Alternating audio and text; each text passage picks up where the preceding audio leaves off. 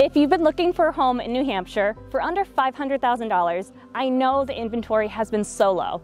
That's why I'm so excited to share with you this home in Andover, New Hampshire. It's on almost six acres. It's a colonial with three bedrooms and two and a half baths. It's so close to so many amenities in downtown Franklin, so much for outdoor enthusiasts. I can't wait to show you. Let's go take a look.